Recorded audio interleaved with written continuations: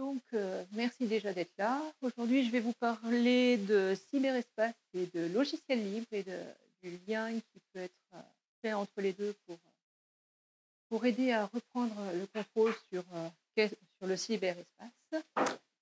Donc, moi, c'est Ariline. Vous me connaissez peut-être du site web des Arsouilles. C'est un blog que l'on tient depuis 2006 avec mon mari ici présent qui s'occupe des enfants qui parlait initialement de cybersécurité. Donc des trucs très techniques en cybersécurité, comment exploiter des vulnérabilités, des failles. Puis petit à petit, on s'est mis à parler un peu plus de d'installation de services, comment euh, toujours en cybersécurité, mais on va on s'est mis à, installer des services pour euh, faire de la sauvegarde automatique ou ce genre de choses. Puis, de, fil en aiguille, on s'est mis à parler de sujets un peu plus euh, éloignés, de, plus en plus éloignés de l'informatique. Et en fait, on parle surtout de ce qui nous passe par la tête au moment où ça nous passe par la tête, du moment que ça nous semble pertinent de partager l'information avec le reste du monde. Et à côté de ça, je suis expert judiciaire en informatique. Donc sur le, sur le papier, ça a l'air vachement cool. C'est euh, la personne qui s'occupe de des investigations numériques euh, sur euh, tout ce qui est euh, scellé. on, chope quelqu'un qui a fait quelque chose de mal, on le met en examen, on récupère son téléphone, on fouille dans son téléphone pour regarder si on trouve des preuves ou pas de ce qui s'est passé. Sur le papier, ça peut, ça peut avoir l'air fun, mais en fait, c'est assez violent comme, comme interaction. On voit l'intégralité du téléphone de la personne d'en face on voit sa vie. Et en fait, euh, à travers la vie de ces personnes, on se rend compte que leur utilisation d'Internet est très, très violente, que les messages qu'ils échangent sont des messages assez violents, que les messages qu'ils reçoivent, les vidéos qu'ils regardent, les, les, toutes les images qu'ils reçoivent de leurs amis, ça peut être assez violent. Et donc, on en est arrivé au constat que ce serait bien de faire quelque chose pour apaiser un peu la situation parce que on est dans le cyberespace et on n'est pas forcément euh, prêt. Tout le monde n'est pas forcément prêt à y être. Donc, d'où euh, l'idée de comment récupérer la main sur le cyberespace. Donc, de base, déjà, c'est quoi le cyberespace? Qu'est-ce que moi j'appelle le cyberespace? Histoire qu'on ait des, des termes communs. Donc, à la base, Internet, c'est quoi? C'est des câbles c'est des services, c'est des machines, c'est des ondes, et c'est un monde très physique. J'émets mon message d'une machine, ça passe à travers un câble, ça arrive de l'autre côté, donc c'est très physique. Et puis en fait, en début des années 90, on s'est 80 euh, d'ailleurs, on s'est demandé, mais en fait, c'est pas un peu plus que ça. Et l'idée de cyberespace est née. Tout d'abord avec les comment le le livre de, je crois que c'est Sterling, le gravé sur Chrome, Libérespace est une hallucination connective où des gens, euh, je ne sais pas si vous l'avez lu le livre. Il commence à définir le cyberespace en termes très très pompeux et un peu lourds. Mais en fait, euh, ce qu'on doit retenir, c'est que le cyberespace, c'est plus que du physique. C'est quelque chose qui est dans notre esprit. C'est l'endroit où, où la conversation a lieu euh, si, vous discutez avec une personne via Internet, vous chattez, le chat, votre discussion n'a pas lieu chez vous, elle n'a pas lieu chez lui, elle n'a pas lieu sur le fil, elle a lieu dans un, dans un, espace imaginaire que l'on s'est inventé soi-même, qui, est le, qui est le cyberespace. Et c'est comme ça que, que, ça a été défini, euh, entre autres dans le, dans le livre euh, The Hacker Crackdown. c'est un livre qui raconte comment la, la grosse arrestation qu'il y a eu dans les années 90 de tous les cybercriminels américains. Et ils, définissent dans ce livre-là le, cyberespace comme le lieu où les communications ont lieu et les échanges ont lieu. Donc en fait, on se rend compte qu'on n'est plus dans un monde totalement physique, mais qu'on est dans un monde imaginaire. Et de base, Internet, ça avait été pensé par, les, par ces créateurs comme un lieu un peu utopique, de l'échange, de l'échange de données. On va, on va tous partager, tout est beau, tout, euh, ça fait un petit peu monde rêvé, euh, fantastique. Mais on se rend compte en regardant ce qu'on en fait aujourd'hui que pour, certaines personnes, en fait, ça devient plutôt une vision plutôt cauchemardesque avec du harcèlement, de l'addiction, de la manipulation, de la publicité à tout va, du vol de données. Donc, en fait, euh, on est loin de, des petites fleurs et des, petits papillons que l'on avait envisagés à la création d'Internet. Donc, au final, comment est-ce qu'on a pu en arriver là?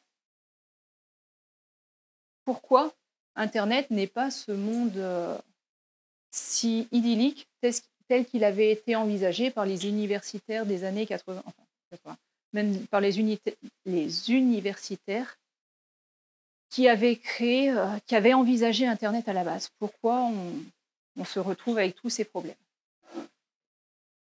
Donc on va, on va parler de comment on communique via Internet. Donc à la base, dans le monde réel, quand vous votre interface avec l'extérieur, c'est votre, votre peau. Je sais qui je suis parce que ce, qui est, ce que je suis, c'est à l'intérieur de ma peau. Je sais qui vous êtes parce que vous n'êtes pas dans moi. Et ma peau fait une sorte d'interface entre moi et le reste, du monde. Donc, euh, c'est facile, c'est physique, il n'y a pas de problème. Vous avez des filtres en entrée.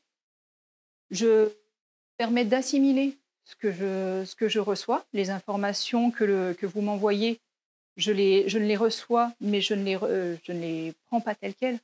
Ça va me permettre, par exemple, si je croise quelqu'un dans la rue et que la personne dans la rue me donne un coup dans, le, dans l'épaule, mais que qu'il ne l'a pas fait exprès, de me rendre compte qu'il ne l'a pas fait exprès, d'assimiler l'information, de souffler, de me dire c'est pas grave.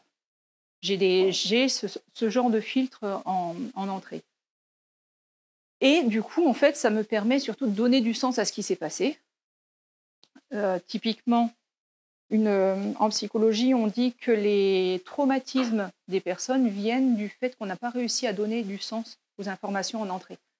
Du coup, un enfant qui est confronté, par exemple, à du, contenu pornographique ne peut pas forcément donner de sens avec les connaissances qu'il a et se retrouve un peu traumatisé. Donc, vous avez, vous, vous avez via vos connaissances euh, un moyen de filtrer le contenu que vous allez observer, l'assimiler pour ne pas le, pour euh, ne pas être traumatisé par ce que vous voyez. De même, en sortie, vous, hum, comment, vous avez des filtres en sortie. Vous pensez à des choses, mais c'est pas pour ça qu'elles vont sortir telles quelles. C'est pas parce que mon patron a eu envie de ne de, pas me donner l'augmentation que je vais lui donner un gros pain, bien que ça pourrait me m'être passé par la tête ou c'est pas parce que mon voisin, euh, je l'aime pas, que je vais le voir et je vais lui dire Hé connard Non, on a des filtres en sortie. On ne dit pas tout ce qui nous passe par la tête ou au moment où ça nous passe par la tête et ça nous permet de vivre en, société. Mais tout ça, c'est grâce au fait qu'on est dans le monde physique et qu'on sait euh, qui euh, je suis moi, l'autre n'est pas moi. J'ai du, j'arrive à communiquer avec l'autre.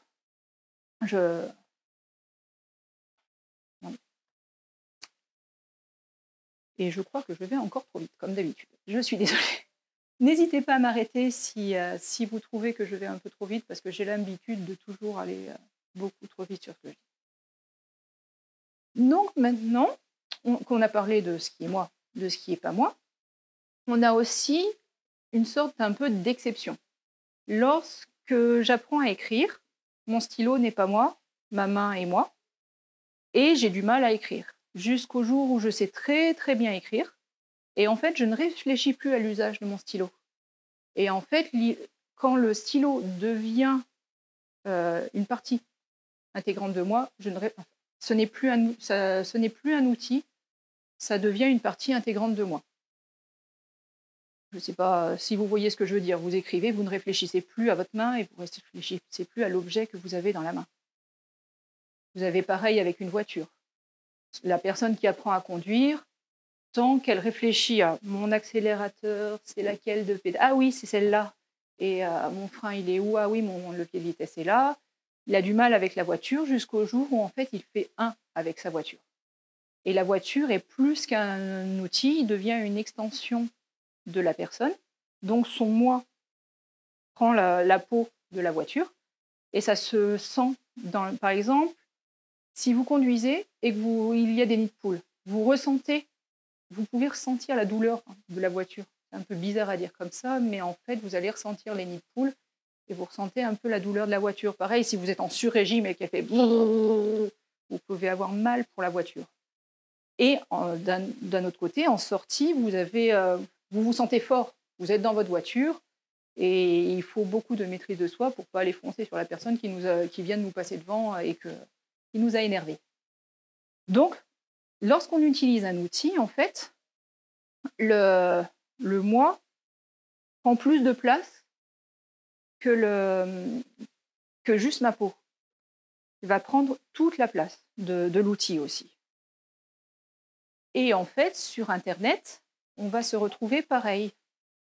Si je ne sais pas, euh, on a tous un grand-parent qui ne sait pas se servir de l'ordinateur et qui, avec la souris, vise pour essayer de mettre le pointeur au bon endroit. L'outil n'est pas du tout intégré. Le grand-parent, il risque pas de confondre entre euh, qui est lui, qui n'est pas lui et s'approprier l'ordinateur. Une fois que vous connaissez bien votre ordinateur, vous n'avez plus besoin de réfléchir où est votre main, vous n'avez plus besoin de réfléchir où est votre autre main sur le clavier. Votre ordinateur fait un, fait un tout. Vous avez le. L'ordinateur fait partie de vous. Mais au moment où vous êtes sur Internet, que vous êtes hyper connecté, euh, les gens qui sont sur Facebook tout le temps, par exemple, le, on va aller jusqu'à le, le mur Facebook va, va faire partie d'eux. Ils vont se sentir chez eux, euh, chez Facebook. Ils vont se sortir chez eux là où ils ont, là où ils ont publié. Et c'est là où on commence à avoir des problèmes. Parce que le moi n'est plus moi, n'est plus circonscrit, mais en fait, il, part un petit peu au-delà. Et les filtres des entrées et des sorties, eh ben, ils sont plus là où, là où, là où ils sont d'habitude. Donc en fait, le problème, c'est qu'il n'y a même plus de filtre d'entrée et de sortie. Donc on, est on se retrouve à peau nue. Vous avez en entrée, vous allez recevoir directement dans votre moi. Si quelqu'un écrit sur votre mur et que vous considérez que votre mur c'est c'est moi, eh ben il écrit directement. C'est comme s'il écrivait directement dans votre cerveau. Et du coup, tous les mécanismes que vous avez initialement d'assimilation des informations et des, et des données, eh ben, ils sautent quelque part. Et vous allez prendre beaucoup plus violemment toutes les, tous les messages qu'on vous donne. Parce qu'en fait, euh, elles sont écrites limite à l'intérieur de vous. Et pareil, pour tout ce qui est manipulation, vous allez être beaucoup, enfin, je dis vous, pas forcément vous dans la salle, hein, beaucoup plus manipulable parce qu'en fait, les informations vont être écrites directement dans quelque chose qui est considéré comme étant faisant partie de moi. Et du coup, euh, vous allez finir par penser que l'information émane de vous et je vais avoir envie de cet objet parce que je l'ai vu sur mon mur Facebook et il me fait trop envie, alors qu'à la base, vous n'en avez pas besoin du tout. Et si vous aviez vu dans la rue l'objet, vous ne l'auriez pas forcément acheté. Donc en fait, on peut considérer que vous n'avez plus de peau, vous êtes à vif sur Internet. Et en sortie, tout est plus violent. Je dis ce que je pense, j'ai plus de filtre sortie qui me permet d'être de vivre en société. Je vais dire violemment tout ce que je pense. Donc, tu euh, tu m'as pas plu, je, te, réponds méchamment, j'ai reçu un message, je te réponds du tac au tac. C'est cette, euh, impulsivité qui, qui nuit aux relations sur Internet, qui sont dues au fait que le filtre en sortie, pareil, j'écris sur mon mur, j'ai l'impression d'être encore euh, à l'intérieur de moi. Et donc, je n'ai pas ce filtre qui me permet de filtrer mes, mes sorties. Donc, tout est beaucoup plus violent. Et en fait, il y, a, aussi le fait que, comme on sait qu'en fait, est quand même dans un monde virtuel, on oublie le principe de réalité. On n'est pas dans du réel, dans du concret. Là, je sais très bien que si je saute de la fenêtre, je m'écrase trois étages plus bas, comme une crêpe. Il y a le principe de réalité, il se rappelle à moi, je ne vais pas le faire. Mais sur Internet, je crois que je peux devenir ce que je veux. Je, vis ce que je crois, je crois ce que j'ai envie, et parce qu'en fait, euh, ce n'est pas réel. Donc le, principe de réalité est très euh, foireux.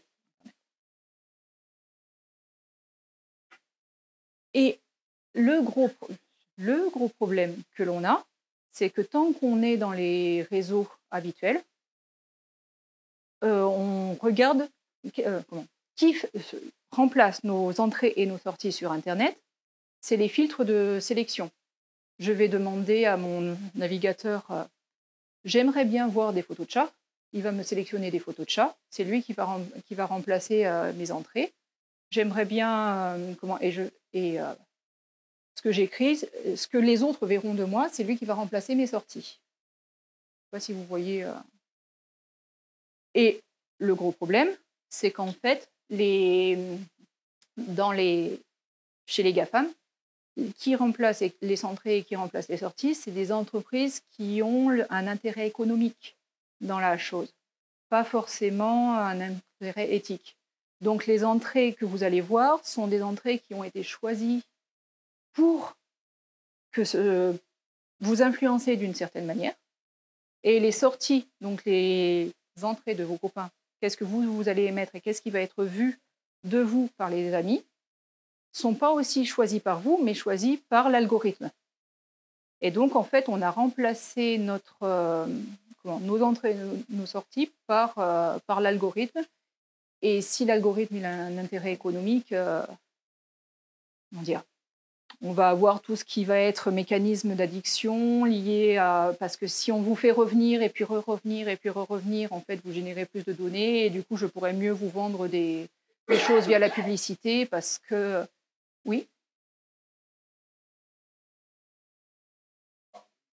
En fait, vous allez mettre plein de choses, mais euh, vos contacts en face ne vont pas forcément voir ce que vous, vous avez émis, ou en tout cas pas tout de suite ça va être euh, sélectionné dans leur fil. Donc, en fait, c'est via leurs entrées à eux. Si vous aimez, si vous aimez un mail en direct, la, votre sortie va être euh, effectivement vue en entrée directe par la personne. Là, je parlais surtout des réseaux sociaux tels que Facebook, euh, tels que Twitter ou TikTok. Oui, surtout TikTok. Ou, enfin, surtout où en fait l'algorithme choisit, le, choisit qu'est-ce qui est montré à la personne. Du coup, en fait, vous, allez, vous, vous avez beau émettre tout ce que vous voulez, c'est pas forcément ce qui va être vu de l'autre côté. Voilà. Oui. Je ne sais pas si vous avez regardé les, les conditions générales de TikTok, mais en gros, c'est le Parti communiste qui se réserve le droit de modérer qu'est-ce qui est qu'est-ce qui est publié ou pas sur la plateforme en fonction de, de est-ce que ça va dans leur sens. Donc euh, là, on n'est pas dans un intérêt économique, on est plutôt dans un intérêt politique, mais ça reste quand même. Euh, il faut le savoir. Oui Oui, les moteurs de recherche, en fait, euh, vont vous suggérer effectivement des choses qui ne sont pas. Comment Oui.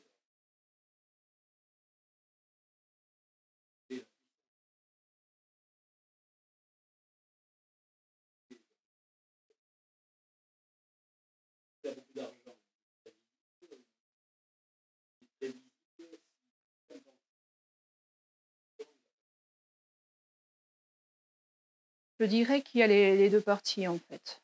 Le fait qu'il ait beaucoup d'argent, il va avoir, euh, il va pouvoir payer des gens pour bien penser justement à, comment, à la publication de ces informations et comment les mettre en avant pour que du coup les gens utilisent, euh, utilisent euh, comment, de manière plus fluide le, site web et du coup aient envie d'aller sur leur site plutôt que sur un autre. Et il y a aussi tout ce qui est euh, comment pas sponsorisé. Ils vont avoir l'argent de pouvoir sponsoriser et remonter artificiellement leur, leur visibilité sur les moteurs de recherche ou sur les, sur les pages euh, je, ça, ça, va dans le sens de votre question, j'ai bien compris. Euh. Ah, ça, j'ai pas la, j'ai pas la proportion de quel élu.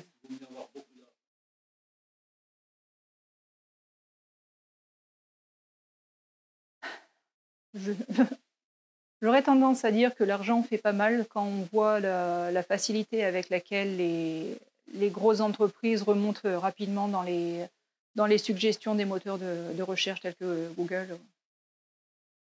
Donc, euh, du coup,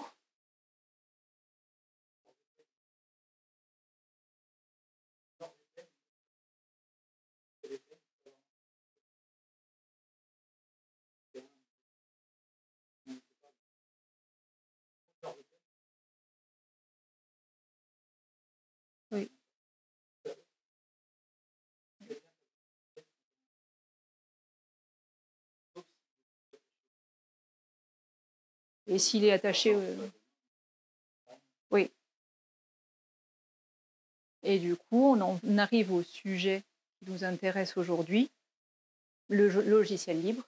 En quoi le logiciel libre peut nous aider à sortir de cette spirale d'addiction, de, violence et, de, et dans laquelle on n'était pas forcément conscient en plus d'être? Donc déjà, de base, on remplace l'intérêt économique euh, par un intérêt beaucoup plus éthique. La plupart des logiciels libres, c'est des bénévoles, ils font ça parce qu'ils ont envie d'aider la communauté et pas forcément envie de se faire de l'argent sur notre dos. Et en plus, euh, tant mieux si on est nombreux, mais c'est pas comment?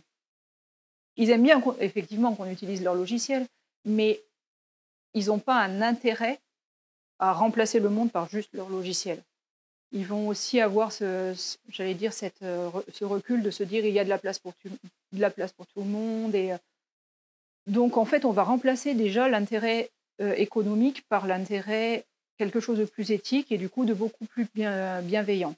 Donc si vous regardez, vous pouvez remplacer YouTube par PeerTube. Après on a quoi? On a Mastodon.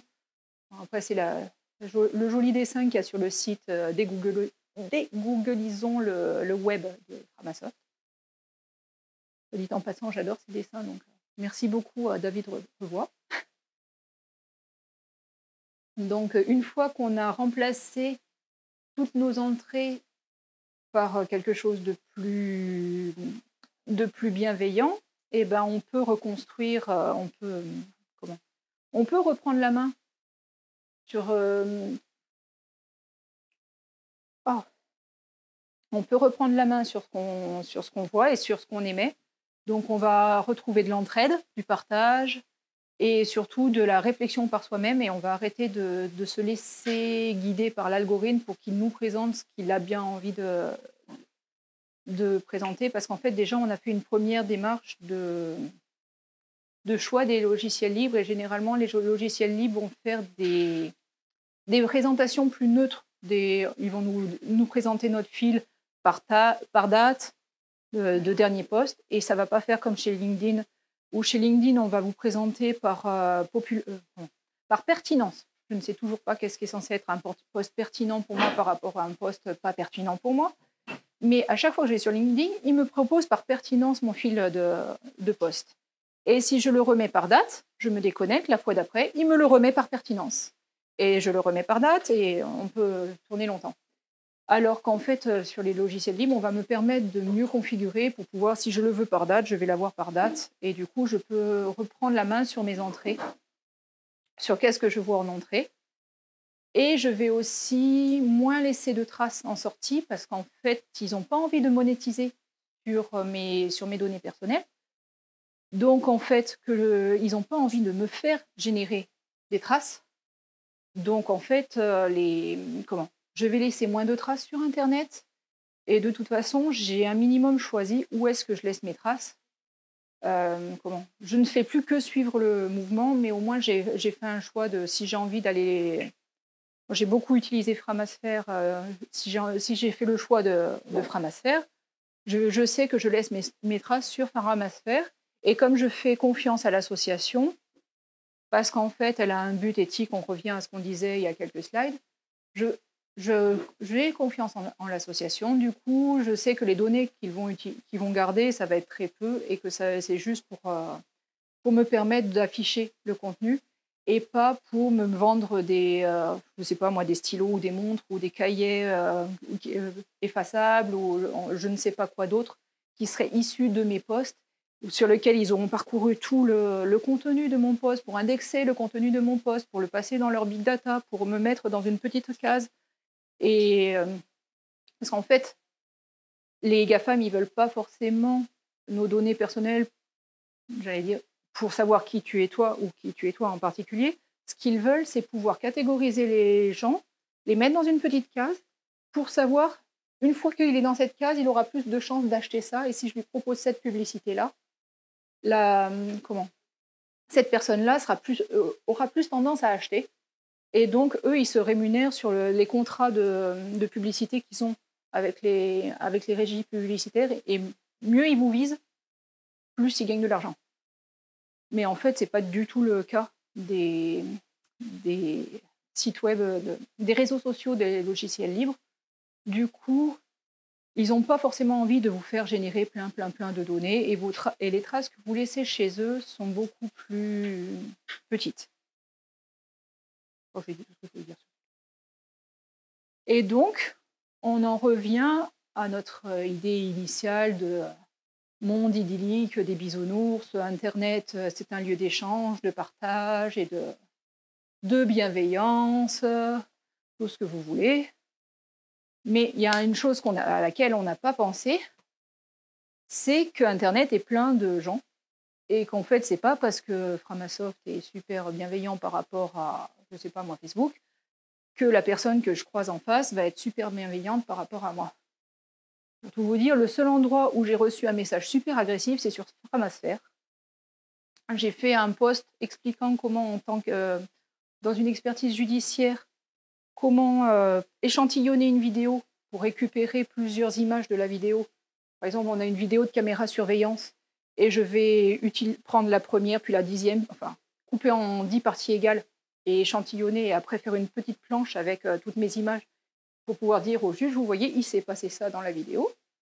Et j'ai fait un script euh, vache qui lance FFmpeg pour faire cette planche. Je pose ça sur Framasphere en expliquant aux gens comment j'ai fait. Et bam, je me prends un poste violent de ouais, c'est comme ça qu'en fait on manipule l'opinion des juges et que du coup on fait croire que les que les personnes elles sont mises en examen, enfin on fait croire qu'ils sont méchants alors que si ça se trouve ils sont gentils, la justice elle est fuckée et, je me suis reçu plein d'agressivité dans la tête et j'ai coupé l'internet et je suis revenue le lendemain. Donc en fait, on fait comment pour, pour gérer les gens en face? Parce que c'est pas parce qu'on a pris des logiciels libres qu'on le prend mieux de se prendre de l'agressivité en pleine, en pleine poire. Donc du coup, pour aller plus loin, on va servir de, des défauts des logiciels libres. Vous avez sûrement parlé logiciels libres avec des copains qui sont euh, pro euh, Windows, vous avez voulu les convaincre d'aller sur Linux et ils sont pro Windows. Vous avez voulu les convaincre de vous rejoindre sur je ne sais pas quelle instance de Mastodon et non, ils n'ont pas envie. Pourquoi? Première excuse, il y a trop de choix. Pourquoi choisir euh, Comment je fais? Je choisis quoi? Red Hat, euh, Debian, Ubuntu, euh, Slackware, Gentoo? Oh, Je sais pas. Eh bien, bonne nouvelle, justement, le fait de choisir, ça permet de s'affirmer et de réfléchir à ce que l'on fait. Et dans les logiciels libres, chaque choix est une saveur. Est-ce que vous préférez la fraise? Est-ce que vous préférez la vanille? Et ben en fait, si vous préférez euh, mettre les mains dans le cambouis, euh, Slackware, c'était génial dans les années 2000 parce qu'en fait, ça gérait pas du tout les dépendances des paquets et c'était. Mais au moins, vous aviez compris ce que vous faisiez. Et si vous n'aviez pas envie de vous prendre la traite, vous choisissiez Mandrake. À l'époque, Mandrake, c'était euh, clé en main, c'était le, le seul qui faisait à peu près clé en main. Donc, en fait, vous avez dû réfléchir, penser par vous-même, vous réapproprier l'information, la réintégrer, la digérer et faire un choix. Je suis qui J'ai envie de quoi? Ben, en fait, j'ai envie de réfléchir. Ben, j'ai envie de discuter qu'avec des gens qui adorent euh, les lapins euh, verts. Ah, ben, il y a sûrement une instance de mastodon pour les fans de lapins verts. Donc, euh, et du coup, vous faites un choix, vous, et ça vous permet du coup de, je me répète, de réapproprier qui vous êtes. Ce n'est plus le logiciel ou le site web en face qui va réfléchir à ma place, mais déjà je réfléchis plus par moi-même. Donc là, c'était pour les entrées, euh, non, pour les entrées et les sorties d'ailleurs, parce que c'est dans les deux sens. Si vous faites un choix d'une instance, euh, elles ont toutes leurs saveurs et leur couleurs, et du coup, vous vous doutez en fait que, que ce que vous allez voir sur cette instance-là va parler de ce sujet-là. Et vous avez aussi un autre euh, point que les gens vont vous dire. Moi, j'y comprends rien. C'est trop compliqué. Franchement, euh, j'installe mon Windows. Enfin, mon Windows, il est déjà sur mon PC. Euh, j'ai rien à faire. En plus, depuis. Enfin, en plus, c'est facile. Déjà, pourquoi ce serait plus facile étant donné que, avec les interfaces qu'on a maintenant, Linux, Windows, personnellement, j'ai du mal à voir la différence. Si, si j'avais mis un, Linux tout de suite sur le PC de mes parents, ils n'auraient jamais considéré que Windows était facile. Ils considéraient que Linux est facile. C'est juste parce que le Windows est installé de base sur leur PC qu'ils considèrent que Windows est facile. Mais allons dans le cliché à fond. Euh, euh, Linux ou, euh, je sais pas moi, Mastodon, c'est super compliqué. Eh bien, bonne nouvelle. Déjà, vous avez une communauté pour vous aider. Donc des gens bienveillants parce qu'ils ont envie que vous alliez, que vous participiez à votre projet, que vous, à leur projet, que vous serviez de leur projet et autres. Donc en fait, ils sont tous là pour aider. ils sont là juste pour vous aider et pas pour vous enfoncer. Et en plus, le fait de, de devoir installer par vous-même, configurer par vous-même, vous vous réappropriez comment marche le logiciel. Et en fait, si on revient au début, au début de la conf où je parlais d'outils et où vous étiez, on se faisait euh, avoir par l'outil qu'on utilisait, en fait, le logiciel va redevenir un outil et on va le reconsidérer comme tel. Donc, on reprend de la distance par rapport aux informations qu'on va recevoir. Donc, on n'est plus euh, comment? Le fait d'avoir dû réfléchir à l'installation, à la configuration, à régler les filtres dans le logiciel, on le reconsidère comme un outil, on reprend de la distance.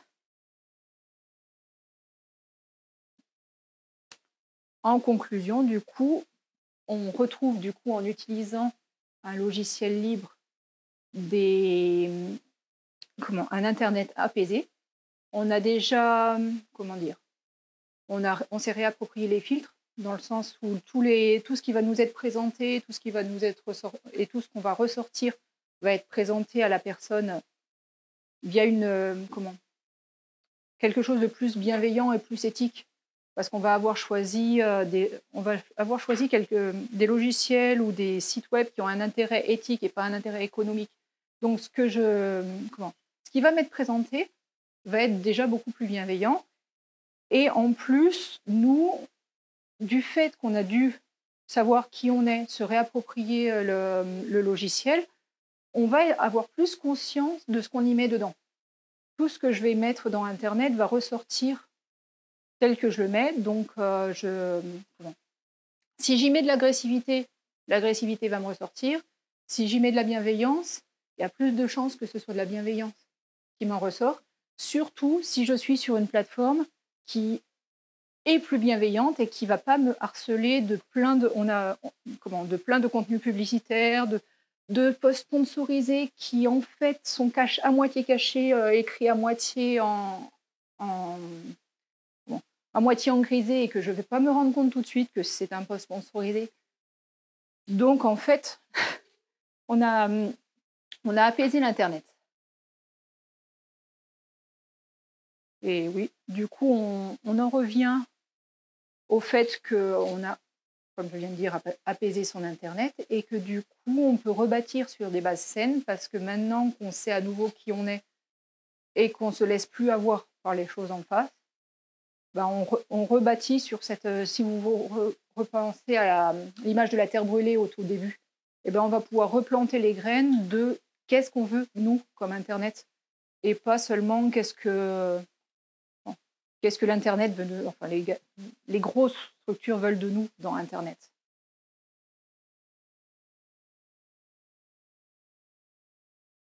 Et pour conclure, euh, et j'ai vraiment été trop vite, pour conclure, je vous dirais bien que en fait, euh, la clé sur Internet, c'est de savoir prendre de la distance entre soi et le, et le monde virtuel. parce qu'on en revient au fait que le cyberespace, c'est un monde que votre cerveau euh, considère comme vrai, et toute information que vous allez recevoir, vous allez le, prendre très à cœur, aussi, aussi vrai que si quelqu'un vous donnait un coup de poing, vous allez, vous allez vous le recevoir méchamment. Et pas forcément parce que la personne l'a dit de manière méchante, mais non, ne presque parce que vous n'allez pas voir son visage au moment où elle vous, donne l'information. Pour la petite anecdote, moi, ça m'est arrivé une fois de vouloir euh, vendre quelque chose sur euh, le Bon Coin, non, d'acheter quelque chose sur le Bon Coin. Et en fait, j'ai écrit un message qui me paraissait gentil à la base à la personne en face. La personne d'en face me répond d'une manière violente, mais j'ai pas compris pourquoi.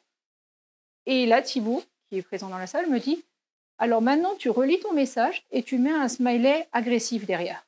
Je oh, la boulette Comment il a pu le comprendre du coup si lui il avait dans la tête, il était dans l'état d'esprit agressif dans la tête, et ben en fait euh, il a cru que je l'engueulais. Mais c'est pas du tout ça. Moi si je mettais un mon smiley que j'aurais mis à la fin c'était un grand sourire. Et en fait une même phrase peut être comprise de manière différente par la personne en face et c'est pas forcément voulu. Donc en fait le conseil que je peux donner c'est on reçoit quelque chose qui oh, nous prend à cœur, nous prend au trip, on fait un pas de côté, on souffle. Et puis en fait, si on avait envie de répondre tout de suite, on ne répond pas. On va faire un tour. Désolée, j'ai mis ma main sur le micro. Donc on répond pas, on va faire un tour. Limite, on répond demain. De toute façon, il n'y a jamais d'urgence à répondre dans la, foulée. C'est ce que les, c'est ce que les grosses euh, entreprises, euh, les gros réseaux sociaux du web ont essayé de nous apprendre, c'est que il faut répondre tout de suite. Il faut répondre tout de suite. Mais en fait, non. Il n'y a pas besoin de répondre tout de suite. La meilleure réponse encore est celle qui a, qui a hum, comment? Vous avez reçu l'information, vous l'avez digérée, vous avez mis du sens sur l'information que vous avez reçue, vous avez réfléchi à la manière dans laquelle vous avez envie de la restituer à la personne d'en face pour que ce soit socialement correct. Et du coup, vous faites un pas de côté, vous attendez le lendemain et vous répondez simplement le lendemain. Et le logiciel libre, pour en conclure avec ce que je disais tout à l'heure, ça peut aider parce qu'il nous force à réfléchir à notre utilisation d'Internet, alors que de l'autre côté, les réseaux sociaux tels que Facebook, Twitter, TikTok, Instagram et autres nous, nous entraînent dans une spirale où en fait c'est de l'immédiat tout de suite et on ne veut pas nous faire réfléchir. Donc voilà, merci beaucoup à tout le monde d'avoir écouté ce que j'avais à dire.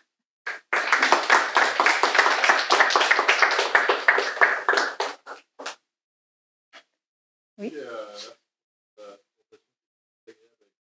Merci.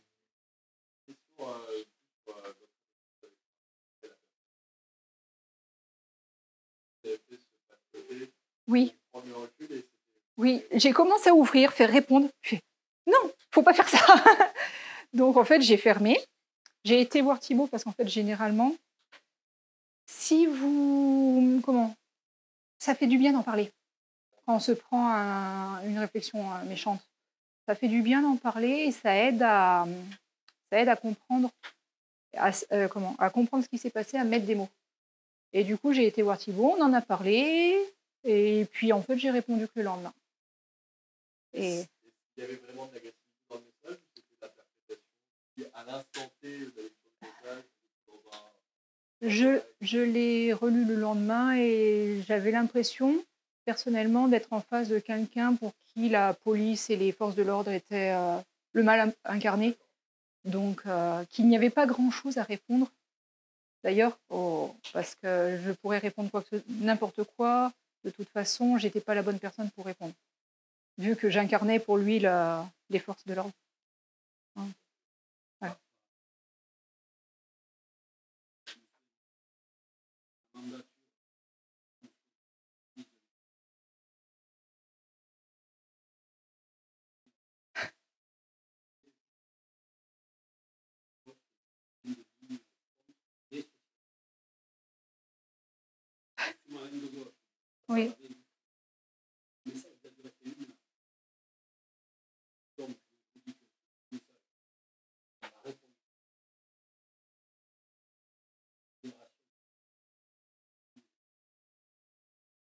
Alors, je dirais que la modération sur Facebook, elle est à prendre avec des pincettes parce que moi, j'ai déjà eu une vidéo extrêmement violente euh, fournie par un de mes contacts sur Facebook où, au final, on voyait quelqu'un se prendre une voiture et. Comment dire Bon, voilà, ça se, finissait très mal. J'ai signalé la vidéo à Facebook qui m'a gentiment dit qu'en fait, ils ne voyaient rien de mal à ma vidéo et qu'ils avaient envie de la laisser. Et je me suis dit que dans leur CGV, c'était écrit que la violence qui pouvait être choquée, euh, normalement, elle était modérée. Mais celle-là, manifestement, crée du buzz. Alors, euh, donc, euh, le problème, c'est qu'on ne sait pas comment ils modèrent. Donc, ils modèrent.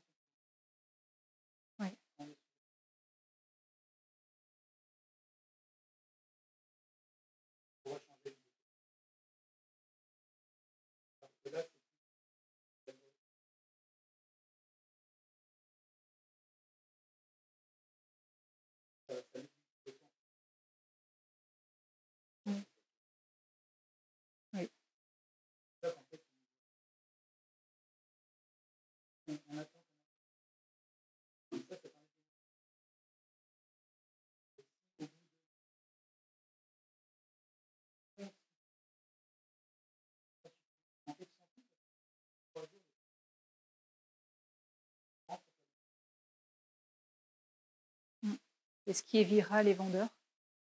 Donc, euh, on va éviter de modérer ce qui est trop viral. Oui?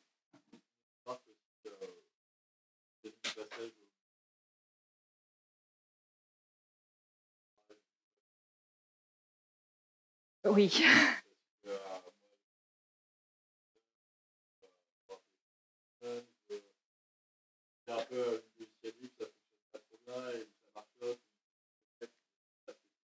Oui. En fait, souvent, je compare ça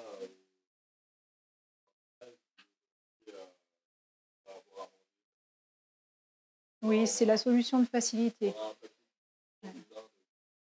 Euh.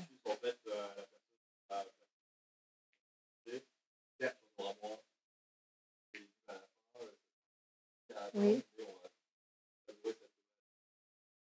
Oui, je suis tout à fait d'accord. C'est ce que je donne comme exemple après oui.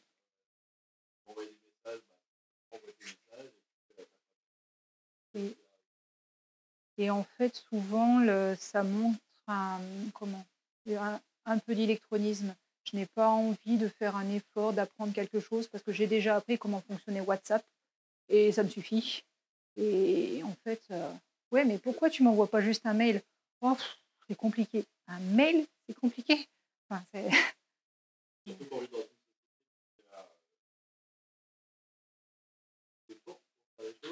Et en, et en plus, on a réussi à se dégager pas mal de temps, en fait.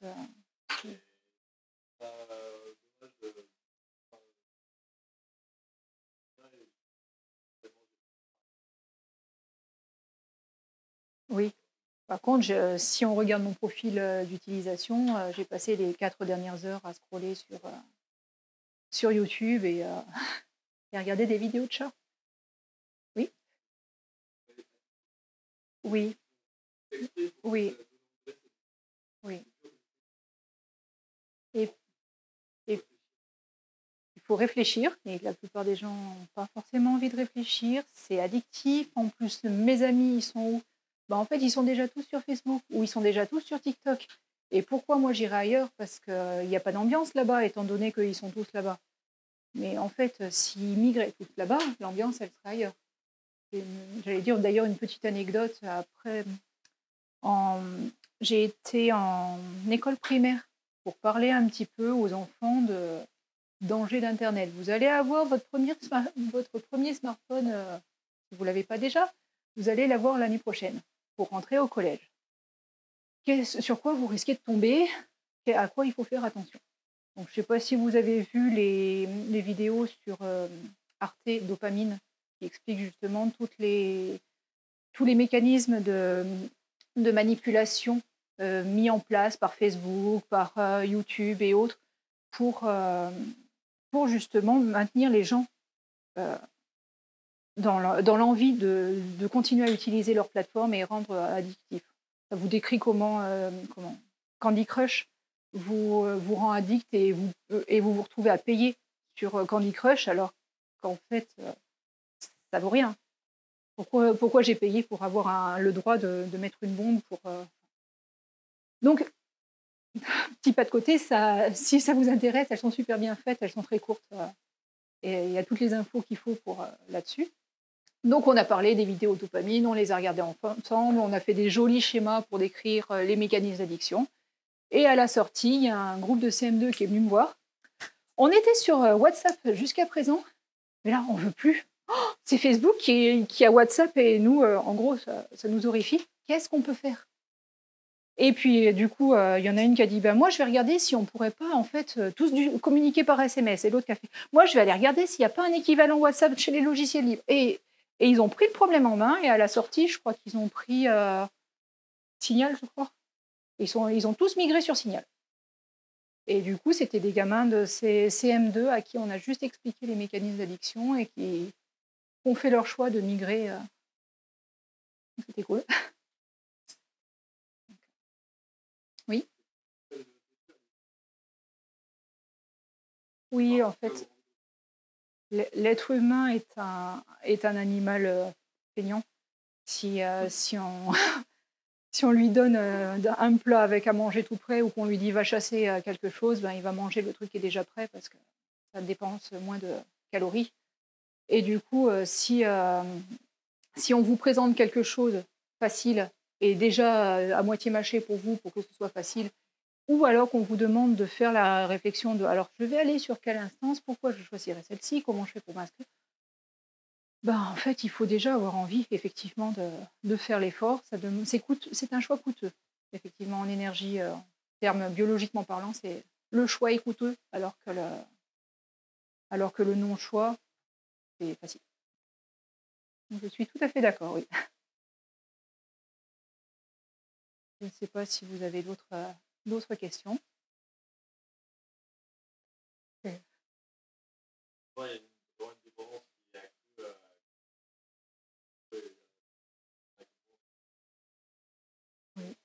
Oui.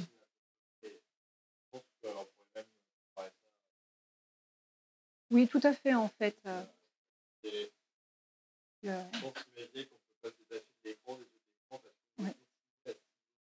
en fait, euh, le fait de recevoir, par exemple, une notification d'un ami, surtout un like ou autre, va générer justement une récompense dans le cerveau.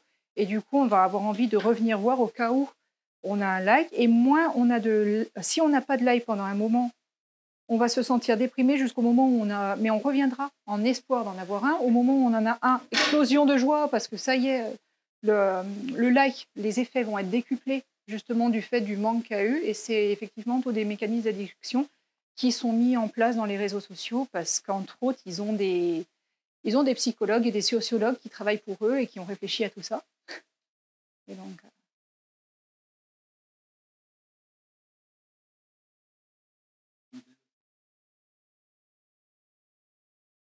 Oui. En fait, c'est le comment ça s'appelle? C'est la on a le peur de manquer quelque chose, le fear of missing. Du coup, on va scroller, scroller, scroller parce qu'en et puis il y a aussi le besoin de besoin de terminer quelque chose. Quand on commence une tâche, on a besoin de la terminer, mais comme la page elle, la page elle est sans fin, en fait, on n'arrive pas à la terminer et on reste dans, dans une boucle de ben, peut-être que peut-être que si je continue à scroller, peut-être qu'il va y avoir la fin et en fait on ne se sent pas bien, ça gratte. Et... voilà.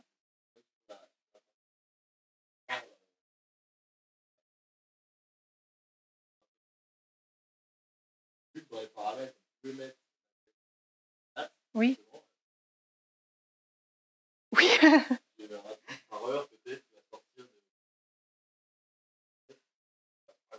Oui. Oui. Oui. Twitter, c'est déjà bien qu'on puisse euh, mettre par date. Comme je disais, LinkedIn, il nous rebalance à chaque fois sur. Euh, voilà. Oui. Et, et, du coup, au final, on se rend compte qu'en fait, il n'y a rien d'intéressant. Et si on fait un, pas de côté et qu'en plus on arrête de publier pour avoir envie de recevoir des... En fait, on se dit que Twitter, il ne sert pas à grand-chose.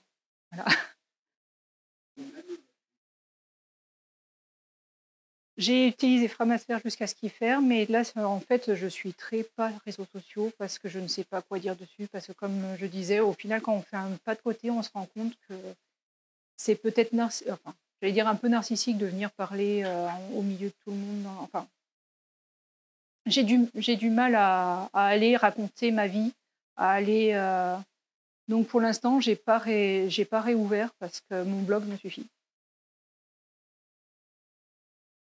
Oui, oui.